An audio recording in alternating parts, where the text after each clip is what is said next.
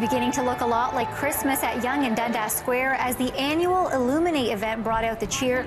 So we thought it was a good time to find out what kids want from Santa. Toys. What kind of toys?